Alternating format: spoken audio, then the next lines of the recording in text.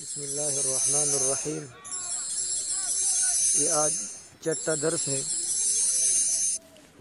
القول فی التوحید، عنوان ہے توحید کے بارے میں ہماری گفتگو کی آج۔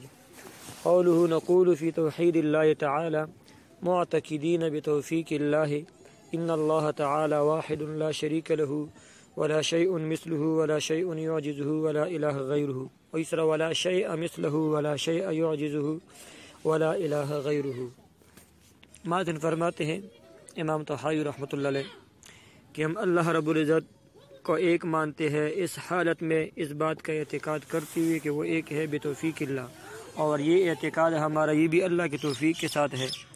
کون سا توحید؟ ان اللہ تعالی واحد، کہ اللہ رب العزت واحد ہے۔ لا شریک لہو، اس کا کوئی شریک نہیں۔ ولا شیء مثلہ اور کوئی چیز اس کی مثل نہیں۔ ولا شیئا، ولا شیء یعجزہ ولا شیء یعجزہ، اور کوئی چیز اللہ رب العزت کو عاجز کرنے والی نہیں، ولا الہ غیرہ، اور اللہ کے ماں سوا کوئی معبود نہیں۔ اب علامہ ببرتی رحمۃ اللہ علیہ ماتن کی اس قول کی تشریح کرے گی کرے گا۔ انما ابتدا بالتوحید۔ امام طحاوی رحمۃ اللہ علیہ نے اپنی کتاب کی شروعات توحید سے کی۔ کیوں؟ لأن اول خطاب يتوجه على المكلف هو الخطاب باثباته کہ اول خطاب، اول امر، اول حکم جو مکلف بندہ کی طرف، انسان کی طرف جو عقل و شعور رکھتا ہو، اس کی طرف جو اللہ کی طرف سے جو حکم متوجہ ہوتا ہے، اول امر میں پہلے پہلے وہ کیا ہوتا ہے؟ وہ اللہ رب العزت کے اس بات کے بارے میں کہ اللہ رب العزت موجود ہے، اللہ کی وحدانیت و علیہ بعثت الانبیاء اور اسی قول کی طرف اور اسی قول کی وجہ سے انبیاء علیہ السلام کو معبوس کیا گیا۔ وہ بھی نزلت القتب السماویہ اور اسی قول کو بیان کرنے کے لیے آسمانی کتب نازل ہو گئی قول تعالی، جیسا کہ اللہ رب العزت فرماتے ہیں عمار صلی من قبل من رسول، اور میں نے آپ سے پہلے کوئی رسول نہیں بھیجا۔ اللہ نوحی الیہ مگر میں نے ان کو وحی کیا تھا انہ لا الہ الا انا فاعبدون۔ کہ اللہ کے سوا کوئی معبود نہیں، میں ہی ایک اللہ ہوں، لہٰذا میری ہی عبادت کی جائے۔ وَإِنَّمَا قَالَ مُعْتَقِدِينَ، یہ نقول فی توحید اللہ معتقدین کا لفظ کیوں استعمال کیا؟ وَهُوَ حَالٌ مِّنَ الزَّمِيرِ فی نقول۔ نقول میں جو متکلم کی ضمیر ہے، اس سے یہ حال ہے۔ نقول میں ضمیر ذوالحال اور یہ حال واقع ہے۔ یہ کیوں؟ حال کیوں ہے معتقدین کا لفظ کیوں استعمال کیا؟ لأن مجرد الاقرار باللسان بدون الاعتقاد بالجنان لا يكون ایمانا. کہ صرف زبان سے اقرار کرنا کہ اللہ ایک ہے اور دل میں یہ اعتقاد نہ رکھنا کہ اللہ ایک ہے. صرف زبان سے یہ کہنا، تو اس کو ایمان نہیں کہا جاتا، لا يكون ایمانا. ایسا ایمان نہیں ہوتا. بل يكون ذلك نفاقا. بلکہ یہ نفاق ہے. کیوں نفاق ہے؟ اس پر دلیل. علامہ اخبر اللہ تعالی عن حال المنافقین جیسا کہ اللہ رب العزت نے منافقین کی حالت بیان کیا ہوئے۔ کہاں؟ بقولی تعالی، قالوا آمنا بافواههم ولم تؤمن قلوبهم۔ کہ وہ تو زبان کے ساتھ مؤمن تھے، لیکن دل ان کے مؤمن نہیں تھے۔ مطلب زبان سے تو اقرار کرتے تھے کہ اللہ ایک ہے، نبی ہے، وہ ہے، یہ ہے۔ لیکن ان کے دل میں کفر تھا۔ دل کے ساتھ وہ اقرار کرنے والے نہیں تھے۔ تو یہ تو منافقین کی حالت ہے۔ اس وجہ سے معتقدین کا لفظ بھی یہاں بڑھا دیا۔ وَإِنَّمَا قَالَ بِتَوْفِيقِ اللہ اللہ کی توفیق کے ساتھ ہم اللہ کا اعتقاد رکھتے ہیں۔ یہ کیوں؟ کہاں؟ اشارت الى قول اہل سنہ والجماع اس قول میں یعنی بتوفیق اللہ تعالی، اس قول میں اشارہ ہے اہل سنہ والجماع کی قول کی طرف۔ کون سا قول؟ ان الوصول الى التوحید بہدایت اللہ علی ما قال۔ کہ اللہ رب العزت کی توحید کی طرف آدمی کا پہنچنا، یہ بھی اللہ رب العزت کی ہدایت کے ساتھ ہے۔ وہ بھی اللہ کی توفیق کے ساتھ، اللہ کی ہدایت کے ساتھ ہے۔ جیسا کہ اللہ رب العزت فرماتے ہیں یہد اللہ لنورہ من یشاء۔ جس کو اللہ رب العزت چاہے، اپنی نور کی طرف اس کو ہدایت دیتے ہیں، رہنمائی فرماتے ہیں۔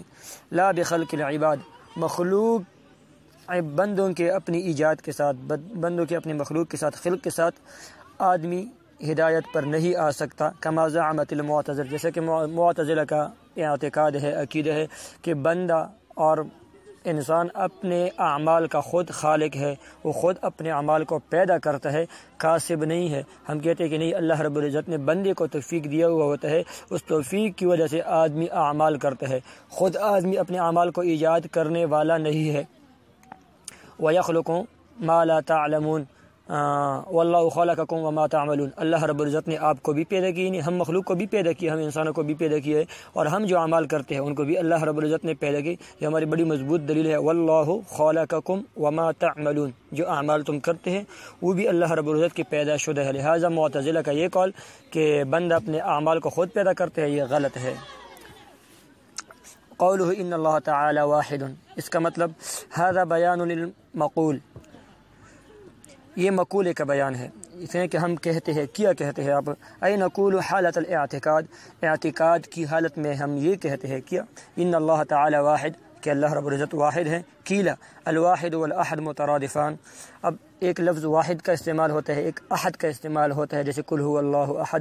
دونوں کا ایک ہی معنی ہے یا معنی مختلف ہے، اس بات، اس بارے میں بات کرتے ہیں۔ بات تو یہ کہتے ہیں کہ واحد اور احد، یہ دونوں مترادف ایک معنی رکھتے ہیں۔ وقر جاء فی القرآن وصف اللہ تعالی بہما اور اللہ رب العزت کو ان دونوں ناموں کے ساتھ موصوف کیا گیا ہے قرآن میں۔ قال تعالی هو اللہ الواحد القہار اللہ واحد الزبردست قدرت والا ہے، قہار ہے۔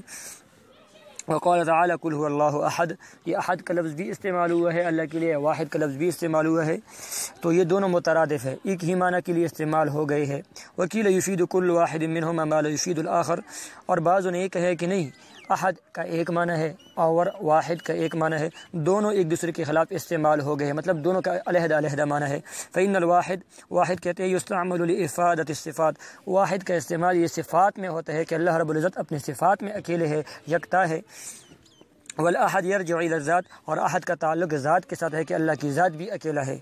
يقال فلان واحد واحد زمانه يعنون بذلك تفرده بصفات كماليه لا يشاركه فيها غيره۔ احد فلان، یہ عرب عرب کا مقول ہے، فلان واحد و زمانی ہی کہ فلاں اپنے زمانے کا واحد آدمی ہے، یکتا روزگار کہتے ہیں۔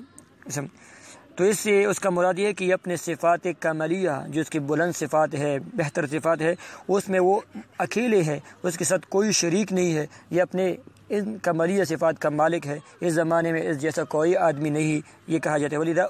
ولہذا قیل اس وجہ سے کہا جاتا ہے، ان اللہ تعالیٰ احد فی ذاتی و واحد فی صفاتی کہ اللہ اپنے ذات میں بھی ایک ہے، صفات میں بھی ایک ہے۔ احد ذات کے لیے استعمال ہوا، احد فی ذاتی و واحد فی صفاتی واحد کا لفظ صفات کے ساتھ استعمال ہوا۔ قول الازہری، یہ لغت کا ایک عالم گزرا ہے۔ الواحد فی صفت اللہ تعالی له معنیین۔ واحد جب اللہ کی صفت کے بارے میں استعمال ہو جائے تو یہ دو معنی رکھتے ہیں۔ احدهما ایک معنی انه واحد لا نظیر له وليس كمثله شيء کہ اللہ کی کوئی مثل، کوئی نظیر، کوئی ہم عصر نہیں ہے، کوئی نظیر نہیں ہے۔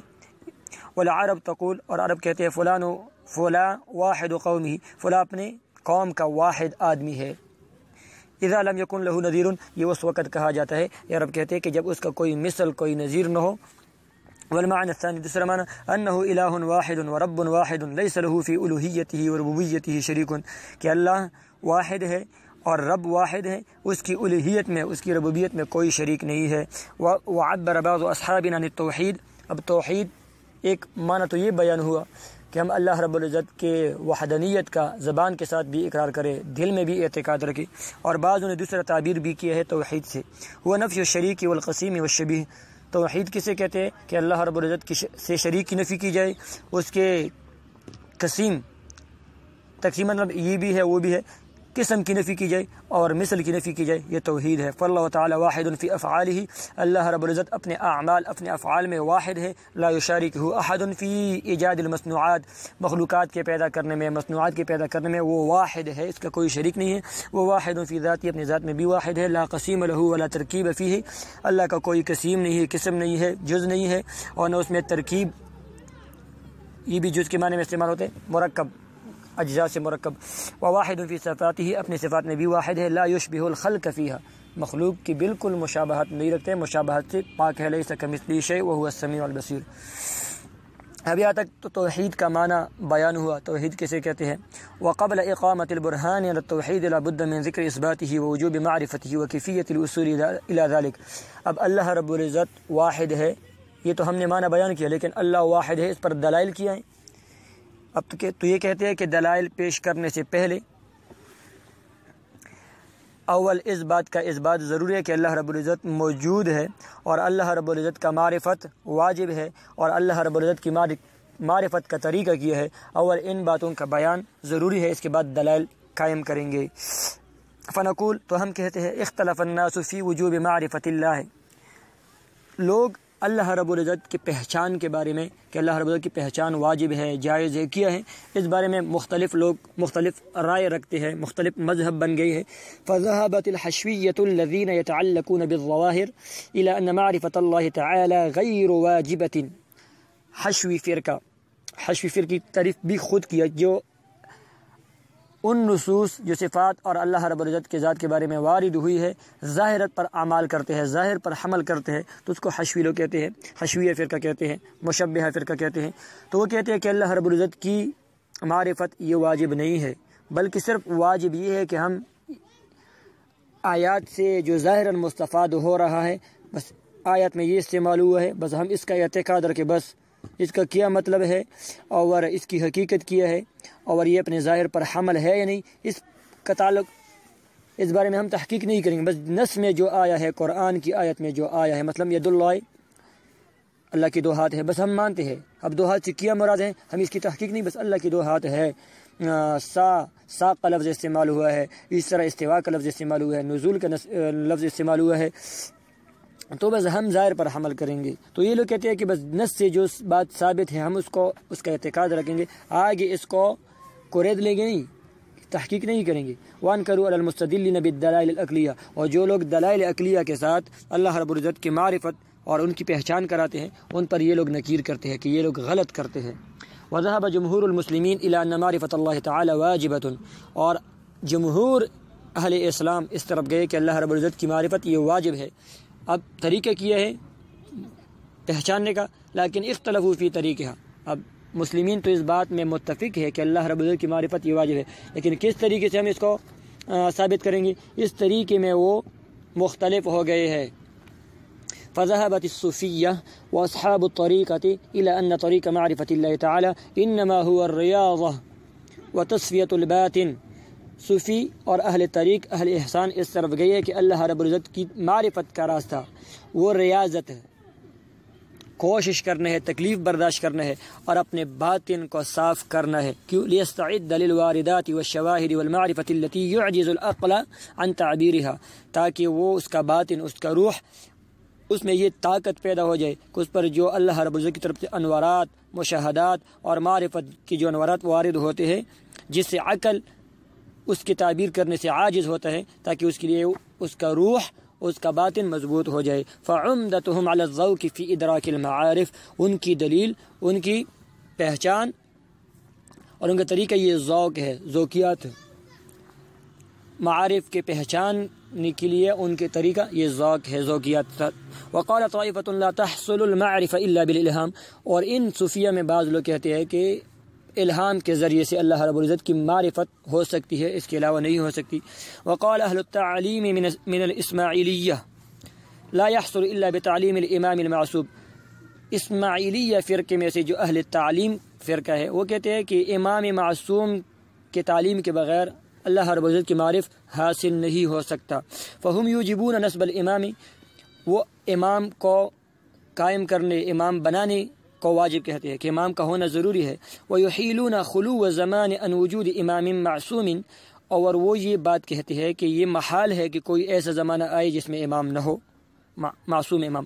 یہ دل خلق الى معرفت اللہ وہ امام معصوم جو اللہ رب العزت کی طرف لوگوں کو بلاتے، ہدایت دیتے ہیں۔ فرقہ اسماعیلیہ کون ہے؟ ہم الزین اسبت الامامت اسماعیل بن جعفر الصادق، جنہوں نے اسماعیل بن جعفر الصادق کے لیے امامت کا اس بات کیے ہے ورعو انہو فقد ولم یمت۔ وہ کہتے ہیں کہ گم ہو گئی ہے غائب ہو گئے، لیکن مردہ نہیں ہے، فوت نہیں ہو گئے۔ وہ المنتظر، جن کے انتظار کیا جاتا ہے۔ وہ من فرق الباطنیہ، اور یہ ان فرقوں میں تھے جو باطنی فرقے ہیں، ان کی شاخ ہے۔ لہم کتب صنفوها ومخاريف الفوها تؤدي الى تعطيل الشريعه وسكوت التكاليف وقد كفرهم المسلمون وللاستزاده من اخبارهم راجع الفرق بين الفرق لابي منصور البغدادي صفحه 81 الملل والنحل للشهرستاني جلد 1 صفحه 191 التفسير في الدين للاسفرائيني صفحه 23 کی طرف مراجعت کی جائے۔ فرقہ اسماعیلیہ کا تعارف وہاں بہتر انداز میں اور اچھے انداز میں مل جائے گا۔ وقال جمہور المتکلمین، متکلمین، ان طریق معرفت اللہ تعالی، اللہ رب العزت کی معرفت کا طریقہ، راستہ، پہچان، انما هو بالنظر والاستدلال۔ عقل اور استدلال کے ذریعے سے اللہ رب العزت کا معرفت یہ ان کا راستہ ہے۔ اسی العلم بوجود لیس بضروری فلا بد له من دلیل۔ اللہ رب العزت کی وجود موجود ہونے کا علم یہ ضروری نہیں ہے بدی ہی نہیں ہے۔ لہٰذا اس کے لیے دلیل کی ضرورت ہے۔ وہ دلیل النقلی، اب دلیل دو قسم ہے ایک نقلی ہوگا، ایک عقلی ہوگا۔ اب نقلی کافی ہے، نہیں کافی؟ والدلیل النقلی من الكتاب والسنة فرع على ثبوته وثبوت النبوة۔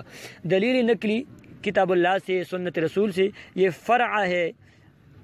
اول کتاب کو ثابت کریں گے، اول نبوت کو ثابت کریں گے۔ اس کے بعد کتاب اور سنت خود دلیل بن جائے گا۔ جب تک کتاب اللہ، سنت رسول ثابت نہ ہو، نبوت ثابت نہ ہو، اس وقت تک آدمی کو منکر کو کتاب اللہ سے، سنت رسول سے دلیل نہیں دے سکتے، کیونکہ وہ سرے سے کتاب نہیں مانتے، تو دلیل کیسے مانے گا؟